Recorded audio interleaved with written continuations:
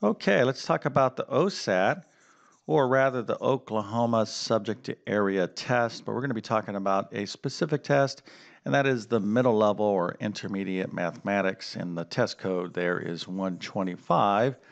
And we're going to take a look at a practice problem. So if you're uh, watching this video, I'm assuming you are preparing for this exam. So that's excellent. Uh, let me go to introduce myself. My name is John. I'm the founder of TabletClass Math. I am also a middle and high school math teacher, so I definitely know what it's like to take certification exams and to teach at this level.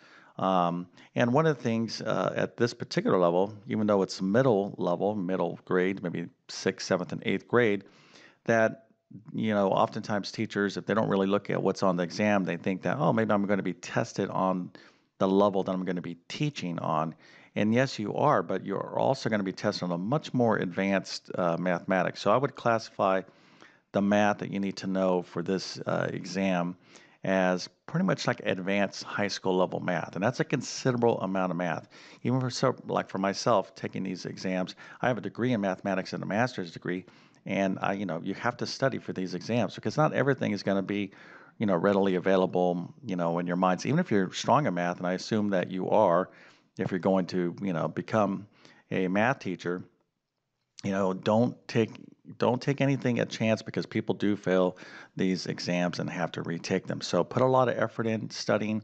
It's just going to pay you dividends not only, you know, on the exam, on the test, but, you know, in your profession. So with that being said, I want to let you know that I actually have a very comprehensive test prep course for this particular exam. I'll leave the link to that in the description of this video.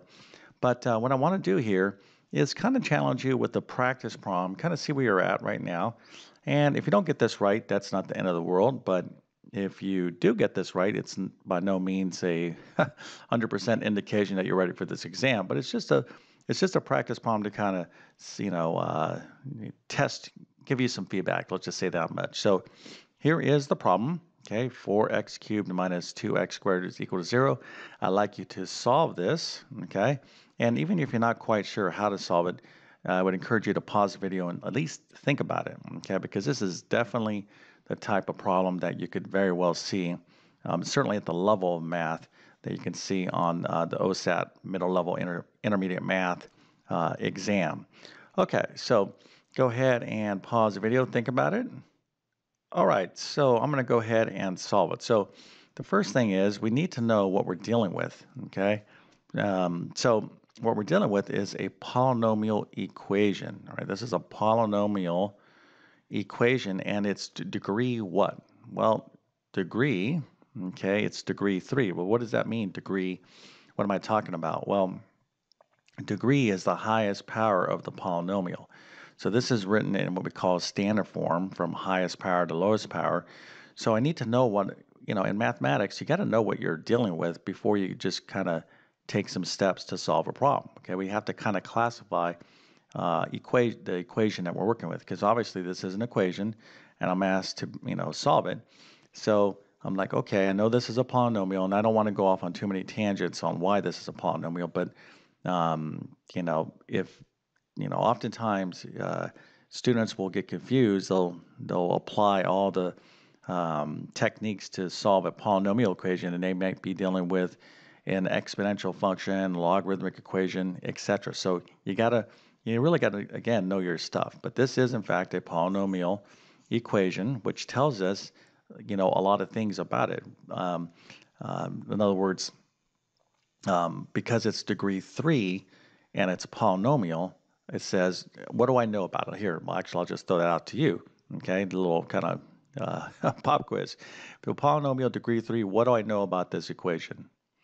Well, hopefully, he said, well, there's going to be three solutions. There's going to be three solutions. If you answer that, then that's excellent. But what type of solutions? Well, they're going to be some sort of combination of real or complex numbers. Okay.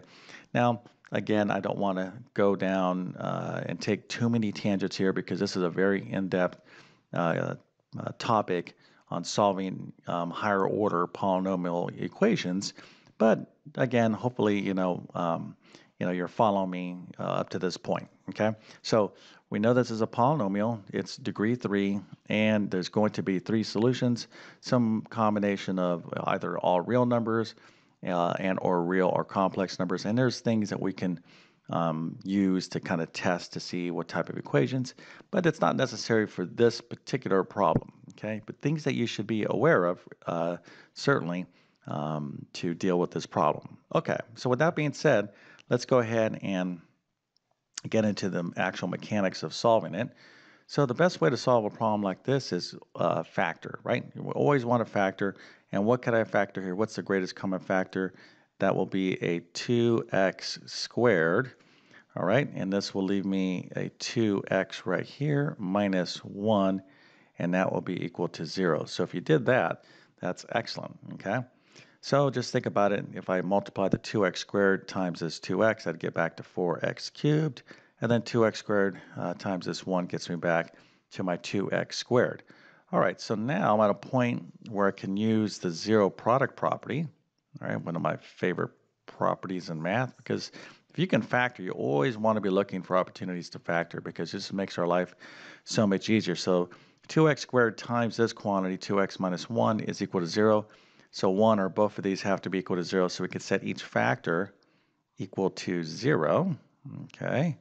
And then we'll go ahead and solve the uh, remaining uh, equations here. So 2x squared is equal to 0, which means x squared is equal to 0, right? Divide both sides by 2.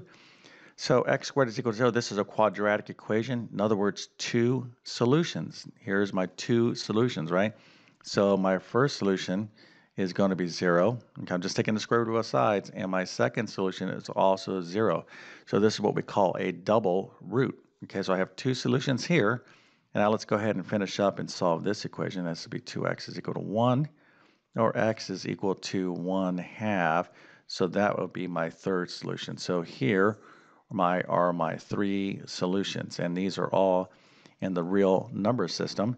So that's basically the solution, okay? Now, if you just wrote down here, and the reason why I kind of threw in this third degree is that if you just said x is equal to 0 and uh, x is equal to 1 half, you would be two thirds correct.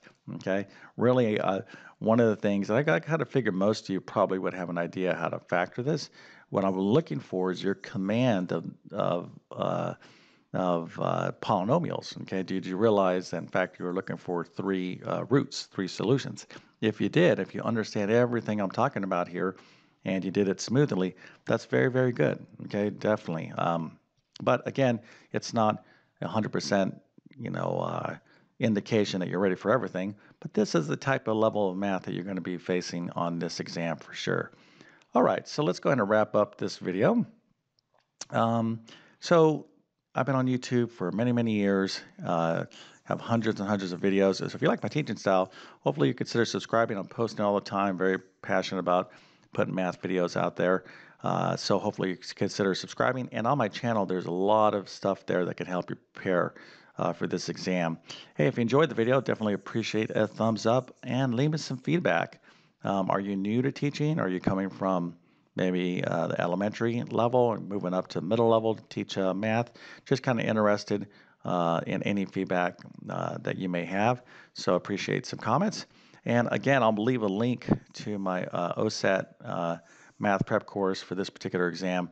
All my courses have taken me years to build and extremely comprehensive, so I think you'll find it very beneficial. But again, you can check that out by clicking the link in the description of the video. But with that being said, I definitely wish you all the best in your teaching career. Um, uh, you know, only fellow teachers uh, understand how you know challenging teaching is, but how rewarding it is as well. So thank you for your time and have a great day.